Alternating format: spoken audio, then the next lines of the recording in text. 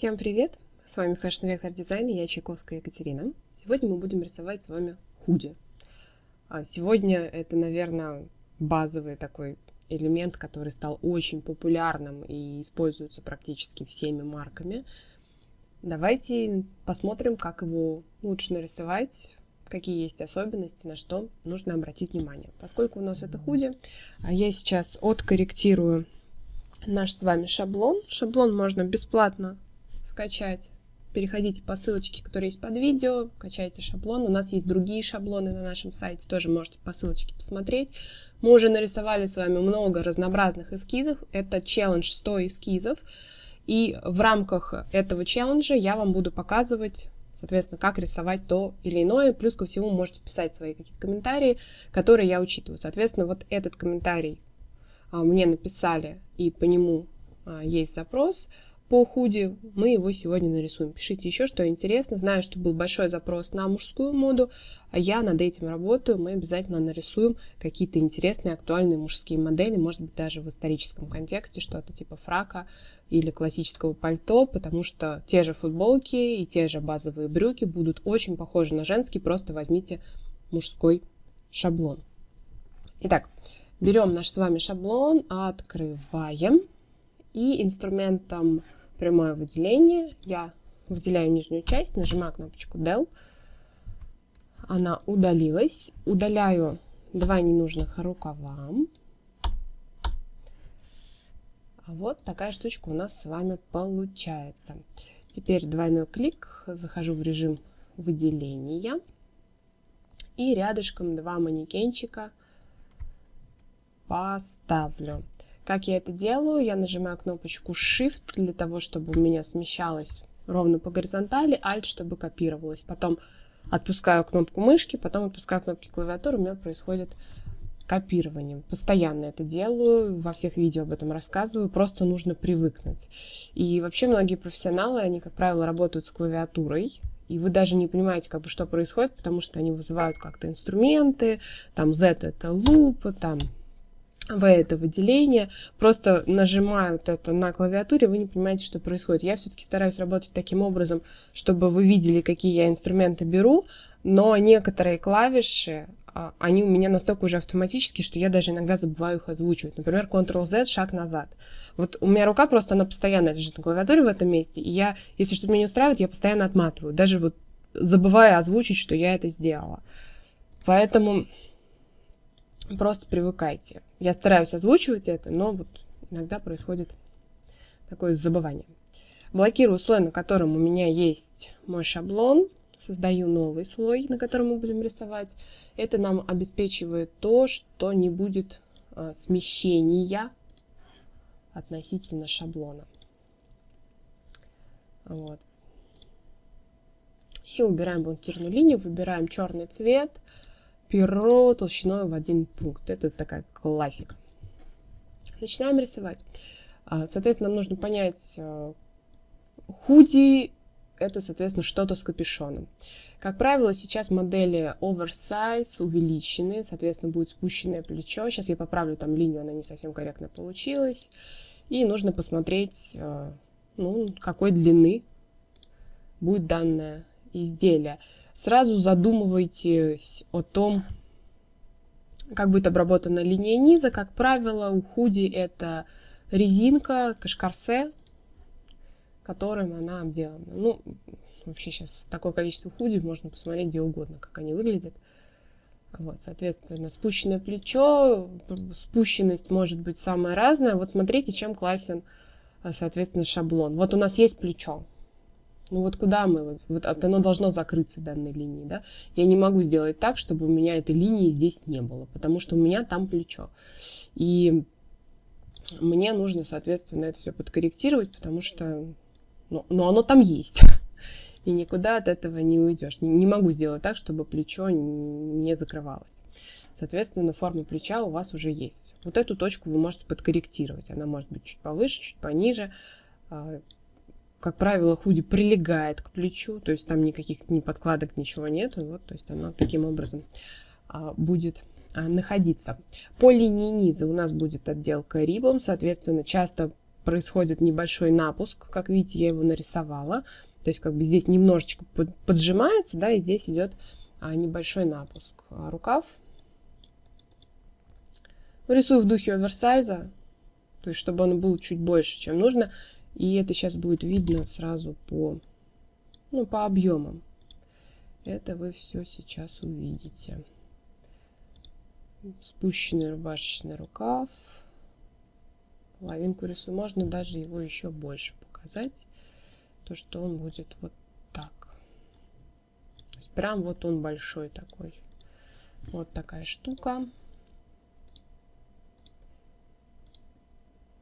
Так. Это тоже рип. И теперь это мы нарисовали. Половинки соединяем между собой. Окно. Обработка контуров. Инструмент зеркальное отражение. Вот он он. От центра. Отражаем, нажимаем Shift-Alt, отпускаем, получаем. Так, смотрим, слили. Выбрали два объекта, которые мы сливаем, и их сливаем. Так, теперь я хочу немножечко поправить горловинку. Есть у меня к ней некоторые вопросы, соответственно, я ее буду править. Вот таким образом. А, смотрите, вот эта линия, у нас же вещь с капюшоном получается, соответственно, нужно обязательно посмотреть. Она бывает сейчас достаточно широко расставлена, вот вплоть до такого нужно посмотреть, что мы хотим сделать, насколько она будет глубокая. И а, вот худи, вход капюшона, линия, которая будет втачиваться капюшон, может с нахлестом идти, то есть здесь тоже это надо посмотреть, подумать уже по дизайну. Давайте сделаю просто прямую стыковку. Вот в эту точку она будет приходить. Соответственно, раскрывается у нас капюшон. Вот он, он раскрывается. Здесь у нас голова, то есть она должна встать. А, возможно, будет удобнее использовать для данного эскиза шаблон с головой, чтобы не промахнуться с капюшоном. И здесь вы должны задать, э, ну, соответственно, форму. Как правило, идет какое-то вот такое нависание, и вот он возвращается. То есть немножечко капюшон ложится на плечо. Вот что-то такого рода. Возможно, вот эти точки чуть-чуть поднять, но и тоже не чересчур сразу править. То, что не так, то, что так. Вот эта линия, они тоже очень индивидуальны. Вот этот вот размах, это определяется дизайнером, обсуждается это все с конструктором. И вы смотрите капюшоны, как правило, две основные формы. Это одношовные и двухшовные капюшоны – Соответственно, надо выбрать, какой подходит именно вам под вашу конкретную ситуацию. Так. Я сейчас солью все воедино. Хотя, наверное, не совсем это будет правильно. Сейчас просто поправим линии. Видите, вот я сейчас нажала Ctrl-Z как бы на автомате. Вот шаг я назад откатила, это было сочетание клавиш Ctrl-Z. Даже не задумывалась, просто откатила и все. Вот сейчас уже осознала и начинаю вам об этом сообщать, о том, что ай-яй-яй, я сделала, не, не озвучила. Тоже иногда просто рисую и забываю обозначать. Я вообще обожаю рисовать с музыкой или с какими-то аудиолекциями. Я включаю их, и все, меня нету, наушники одел. Так что используйте это время очень плодотворно. Можете послушать любимую музыку, любимые подкасты, аудиокниги очень хорошо слушать. Это вот такой мой а, лайфхак. Постоянно что-то слушаю. Когда пишу тексты, ну, естественно, слушать не получается. А когда рисую, прям с удовольствием. Даже когда на фирме работала, вставляла наушники в уши и слушала так, теперь смотрите, что у нас будет видно. У нас будет видно, то, что у нас же там спиночка есть, правильно? Вот ее будет видно. Она будет торчать, это самый задний слой у нас. И вот эта часть капюшона, она Ну, то, что мы изнаночку капюшона видим, вот она тоже будет торчать. Сейчас мы ее назад уберем. Все будет хорошо. Так.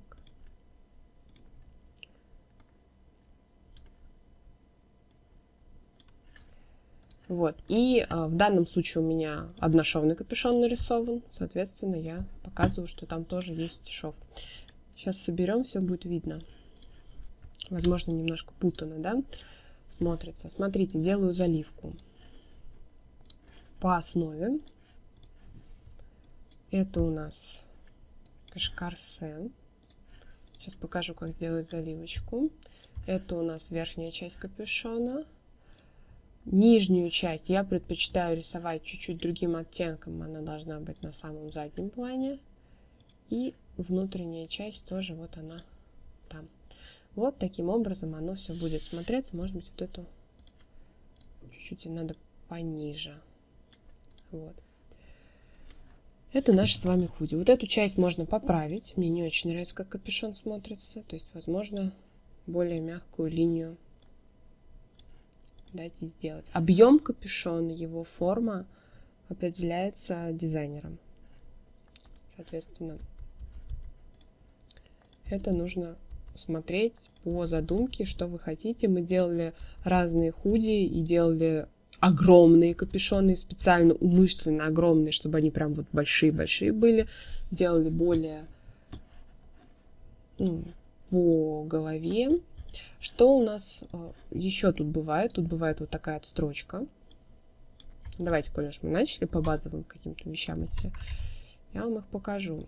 Как правило, вот здесь идет отстрочка. Видите, я ее рисую просто линией. Так. Так. Так. Так, и отстрочка это пунктирная. Далее что?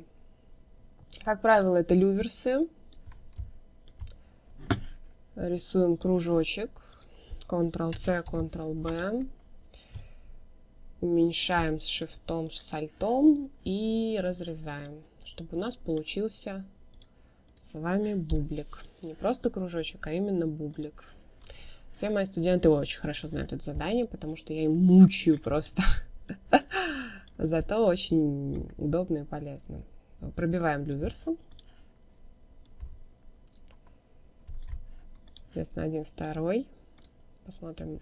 Наверное, их надо вот сюда опустить немножечко и чуть поменьше сделать. Да.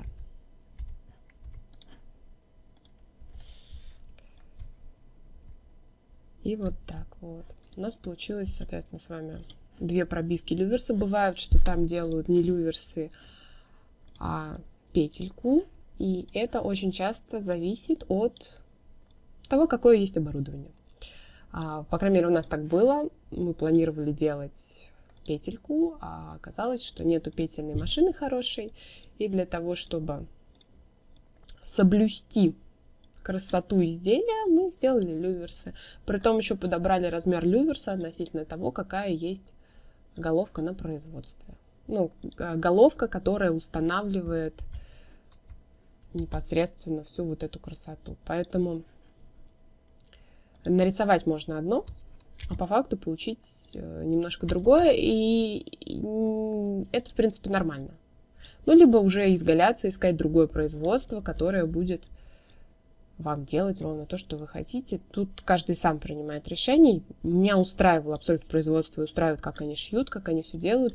Но вот нет у них петельной машины, значит, я пошла на такой ход, и мы поменяли технологию. Почему меняется технология? Вот по таким причинам иногда. Так, беру инструмент сглаживания и все линии немножечко приглаживаю. Шнурки тоже с ними целая песня. А, шнурки могут быть обычные, плоские, какого нибудь там размера. На конце могут завязываться узелком, обматываться нитками. На них могут вешаться так называемые эндинги. А, это наконечники. В общем, что там с ними только не бывает. Мы обозначили, что у нас есть шнурок. обозначили приблизительно его а, длину. Так, теперь что нам нужно сделать? Нам сюда нужно поставить заливочку кашкарсе, чтобы все понимали, что там у нас это рибана, кашкарсе, а не основное полотно. Из основного полотна тоже делаю. Рисую одну линию, дублирую ее по соседству, убираю у нее цвет э, всего контуры заливки и всю эту красоту закидываю в, в образце, не в кисти, а в образце. Так, вот так все тихо, спокойно беру и закидываю. У меня получилась заливочка. Сейчас я вам покажу, какая. Дублирую. И заливаю основную заливку. Не контур, а заливку. Вот она у меня получилась. Смотрите, прекрасная, полосатая, на место ставленная. Здесь точно так же дублирую. Обычно я со смещением это делаю и ставлю на место. Теперь можно здесь крутануть заливку, чтобы она попадала под правильный наклон. Окей. И сюда то же самое. Только в другую сторону. Можно там высчитать градусы, написать правильный градус. Можно а, как один из моих преподавателей говорил, сделать это глазометрически. Теперь смотрите. Дополнительные строчки, которые будут идти здесь или здесь, это уже определяется индивидуально. Наличие кармана. Будет у вас карман, не будет у вас кармана. Это уже индивидуальный дизайн, определяющийся непосредственно моделью. Поэтому, ну, дизайнер определяет, как бы, будет оно или не будет. Я сейчас нарисую. Вы можете его рисовать, можете его не рисовать. Так. А я люблю кармашки точно так же рисовать половинкой, потом их раззеркаливать, чтобы они были симметричные.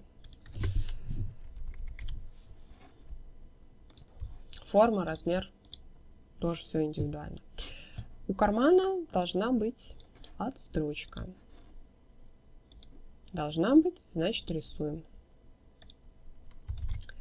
Это вот э, такой простой базовый эскиз, который будет вам служить верой и правдой. И на такие пола можно наносить дизайны принтов. На такие пола можно менять форму карманов и всего остального. То есть вот оно будет у вас использоваться так, как вам нужно. Что нам теперь еще нужно? Вид сзади. Я, кстати, смотрите, не работала с тенями. В принципе, можно теневую какой-то момент сделать, но не во всех эскизах требуется наличие теней, поэтому это индивидуальный вкус автора и пожелания. Дублирую. Что у нас не будет на спинке? У нас не будет вот этого. У нас не будет вот этого. А вот это все нужно слить в один большой красивый капюшон. Потом поправить форму. То есть вот это, вот это и вот это слить в один объект. Вот там появились какие-то ненужные штучки, мы сейчас их поправим. А эту часть тоже мы с вами немножечко поправим. В общем-то, вот он получился у нас капюшончик. Эта линия должна смотреть вниз. Нужно просто понимать, что оно ну, тоже будет мягко снеспадать, оно не будет прям четко по линии. И, естественно, будет центральная линия шва. Как я вам уже говорила, мы делаем одношовный комбинезон в данном случае.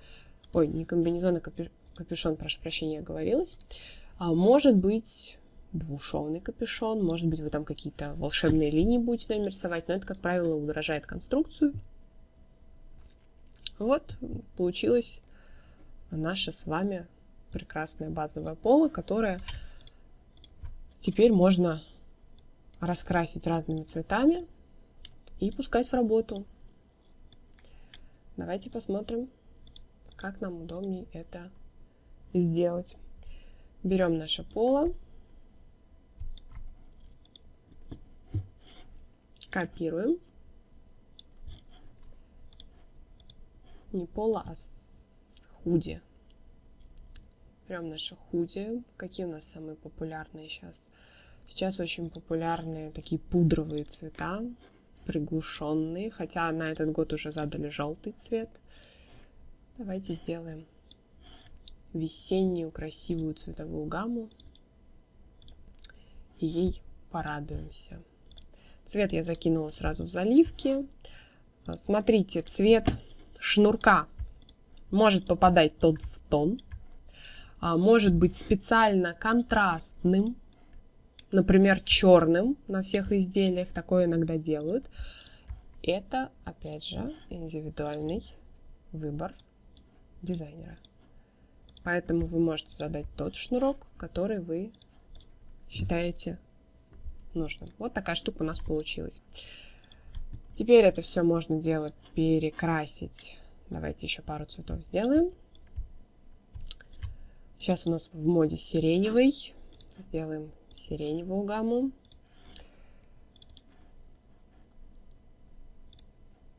Я обычно подбираю так цвета, можно сфотографировать, переснять. Ну, в общем, цвет можно подбирать по-разному. Можно понтонами задавать. По моей практике, вот такой глазометрический метод, когда вы просто подбираете цвет на глаз, он, как правило, более четко работает. Если вам не нужно никуда это потом выводить, просто показать заказчику, то вот глазами оно как-то лучше обычно происходит. Ну и желтенький давайте. Хочется ярких цветов каких-то. Сейчас я желтенький добавлю. Притом не обязательно он должен быть такой прям сильно-сильно. Сейчас мы его освежим. Вот так прекрасно. Как видите, перекрашивать э, при правильно построенном эскизе одно удовольствие. Можно работать так, как вам нравится. Вот такая красота у нас в итоге получилась. Сейчас я немножечко расширю. Можно добавить уже технологическое описание, что от вас э, попросит конструктор. Общую длину, ну, хотя бы вы ему должны сказать ниже бедра, выше бедра, на какой средний рост фигуры, что это, как у вас рука, вы можете сказать, что рукав может быть удлиненный, слегка закрывать кисть, может быть обычный, попросит толщину резинки, насколько она должна быть сильно утянута, насколько объемный капюшон, но это уже все смотрится на первом образце. То есть вы объясняете, что вы хотите, как это должно смотреться, а уже конструктор с этим работает и это делает. Вот такое прекрасное весеннее худи у нас с вами получилось. Цветовая гамма тоже очень бодрая. Но вы можете сделать абсолютно любые цвета, например, базовый белый, базовый черный, почему бы и нет. Если у вас появились еще вопросы и пожелания, я их с нетерпением жду. Спасибо, что пишете, смотрите и используете. Для меня это очень ценно. Не просто так делиться в пустоту, а делиться этим с людьми, показывать и объяснять. Кто хочет э, прям мощно освоить Adobe Illustrator, приходите, пожалуйста, на полный курс Adobe Illustrator в дизайне одежды. Обучаю всему. Есть и книга, есть и курс. А, смотрю всех индивидуально, проверяю домашние задания, заставляю все отрисовывать, делать. Люди уже выходят прям с готовым портфолио. А здесь у нас есть с вами возможность попрактиковаться, порисовать эскизы, посмотреть, как это все происходит. А, возможно, что-то я делаю более автоматически, но все равно вы видите, как это все осуществляется в программе Adobe Illustrator. Не забывайте писать свои комментарии, ставить лайк, если вам действительно нравится это видео. И подписывайтесь на канал, нажимайте на колокольчик, чтобы получать уведомления о новых видео. На этом все. До скорых встреч. С вами была Чайковская Екатерина. Пока-пока.